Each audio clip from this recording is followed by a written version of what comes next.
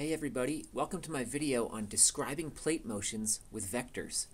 This picture shows a ground-mounted GPS unit that's continually collecting the location of this point on Earth's surface relative to a satellite in space. GPS has been a real revolution for plate tectonics because it allows us to see how all the different pieces of each plate are moving relative to each other in real time. And in this video, we're going to describe how we can describe those motions using vectors. So first, I want to talk about how plate motions are determined and how we display them with vectors. Then I'll talk a little bit about how all plate motions must be defined relative to a fixed reference frame. But that fixed reference frame can change. And finally, we'll look at how we can break vectors into east and west components. So I just told you that GPS has been a revolution for measuring plate motions. And I'll just show you one example here. This is from a GPS station that sits just east of the San Andreas Fault. And it's been measuring the velocity of this location for many years. And what you can see is that over time, the station was being pulled slowly northward uh, along with the California crust. However, when the San Andreas Fault ruptured, the plate suddenly moved southward very rapidly uh, during the earthquake. And that co-seismic motion is actually recorded by the GPS unit. Pretty amazing. Another big way that we know plate motions is by using magnetic anomalies of the seafloor. So as seafloor spreading between two plates occurs, uh, the cooling rocks record the direction of the magnetic field in the rocks. And because that magnetic field reverses direction every so often, those get recorded as magnetic stripes on the seafloor. If we can tie these reversals to, know, the, to the timing of known magnetic reversals, we can then use that to compute a rate of seafloor spreading. So based on maps of these magnetic anomalies, we essentially know the direction and the rate of seafloor spreading over time, which is really the direction and rate of that one plate is moving relative to another plate. So this is a really important way that we know plate motions over long time scales. And these can also be described as a vector. So how do we describe plate motions as a vector? Here's a few of the fundamental ideas. So a vector is just an arrow, okay? And the orientation of the arrow, or the angle, uh, shows the direction that one plate or one moving object is moving relative to some fixed reference frame. Okay?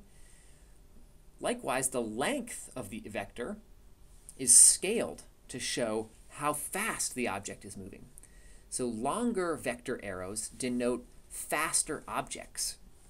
And usually there's a scale that helps us figure that out. In this example, an arrow of this length is equivalent to a velocity of 1 millimeter per year.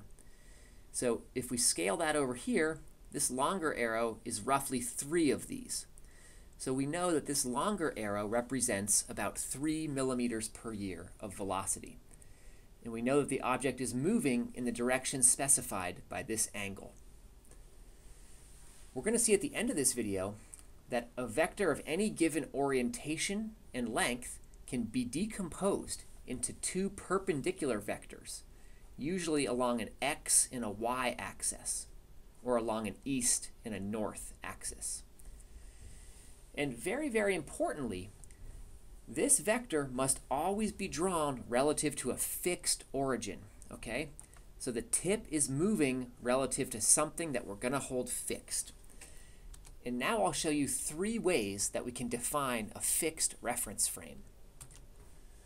One way, common in plate tectonics, is simply to hold one plate fixed and show a second plate moving relative to it. So in this case, we'll hold South America fixed as our origin, and we'll draw a velocity vector that shows Africa moving away from it at some direction and rate. And this is a, a natural thing to do, especially when you're working with data from uh, seafloor spreading, right? because we don't know exactly the, the velocity of this ridge. The ridge itself could be moving in some direction. But we do know that if we hold South America fixed, Africa is moving this way at some rate that is defined by the magnetic anomalies. So this is, this is a common approach if you're dealing with seafloor spreading data. Another approach is to describe plate motion relative to some fixed coordinate system. For example, a latitude and longitude grid, okay? Or if you work in the GPS world, you'll often take your fixed grid as being the International Terrestrial Reference Frame, or the ITRF. And this is especially useful for GPS data because GPS inherently is measured from space and it's inherently an absolute motion relative to some terrestrial reference frame. So in this example, if we had a GPS station on Africa, we could describe how it was moving relative to a fixed latitude-longitude grid. For example, relative to the fixed coordinates of 0, 0 that do not change and aren't moving. And here's an example of some GPS velocity vectors showing how India is moving northward relative to Eurasia. I should say, relative to a fixed reference frame. okay, now finally, we can essentially take any other moving object whose motion is known and use it as our fixed reference frame. And this is something you might call relative velocities. Um, and one way this is done commonly is, for example, people will often want to compare the velocity of some vector uh, relative to stable North America or relative to stable Eurasia. When we think about tectonics, it's often useful to compare velocities of continents around the edges to, to some point in their interior that is stable, okay? So in this case, a bunch of geodesists get together and they look at how the interior of North America is moving relative to a fixed reference frame, like the ITRF, and then they pick some vector that is representative of roughly how the interior of North America is moving in that absolute reference frame. And then what we can do is if we have any other vectors that we want to compare to interior North America, we just subtract off the SNARF, or the Stable North American Reference Frame, from those. And we'll look at that at the very end of this video.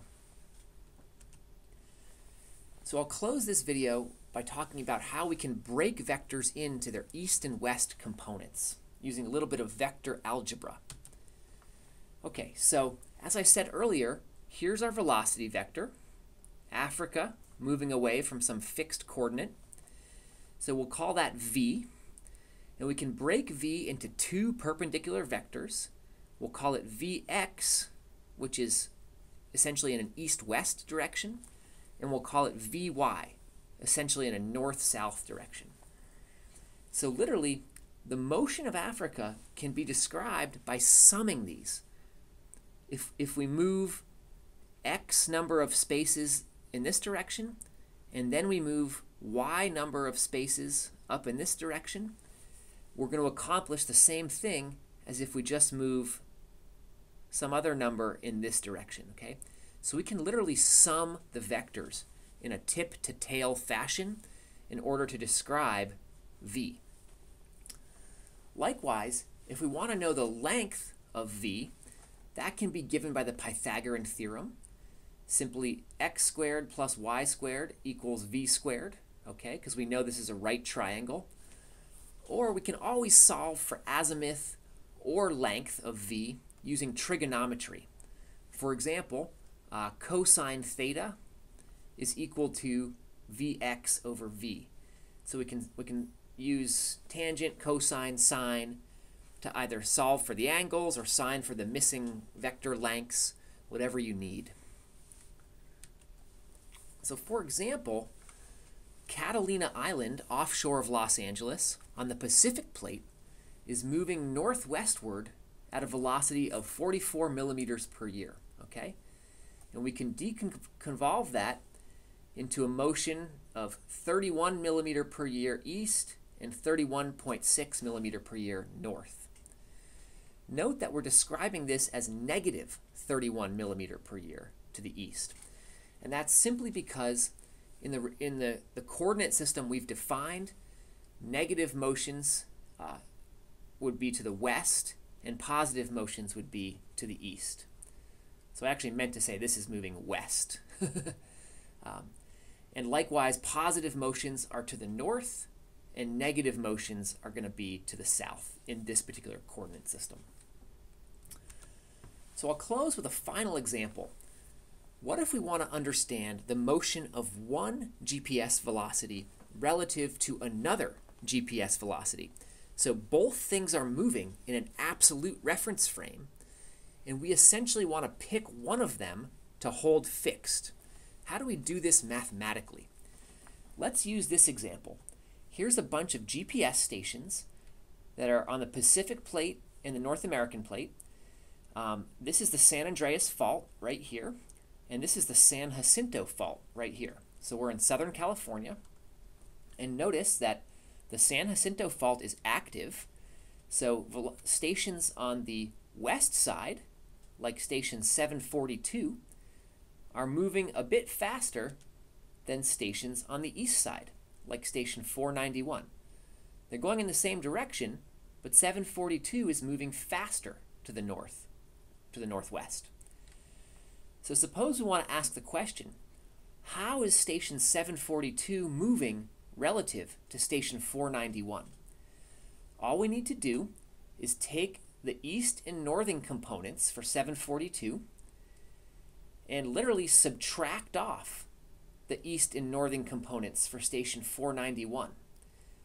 So for the northings, 33 minus 23 is 10, and minus 26 minus 6 is minus 20. So this is now the northing and the easting velocities of station 742 relative to stations 491. And so if we convert that into a single vector, it looks like this. 742 actually isn't moving that quickly relative to 491. Uh, only about a third of its total velocity is relative to 491. So in summary, plate motions can be determined by GPS or by magnetic anomalies at spreading ridges. Plate motions can always be expressed as a vector whose angle shows the direction and whose length is proportional to velocity. That, that plate motion or that vector motion must always be described relative to a fixed reference frame. So that could either be some terrestrial reference frame, like a latitude and longitude grid that's held fixed, or we could hold another tectonic plate or another GPS station fixed. But something has to be fixed. Vectors can be broken down and expressed as the sum of two perpendicular vectors, for example, east and west and north and south. And their magnitude and azimuth can be determined using trigonometry. And finally, we showed that the relative motions between two GPS vectors can be determined by subtracting the east and west components of one from the other. I'll leave you with these concept questions and we'll see you in class.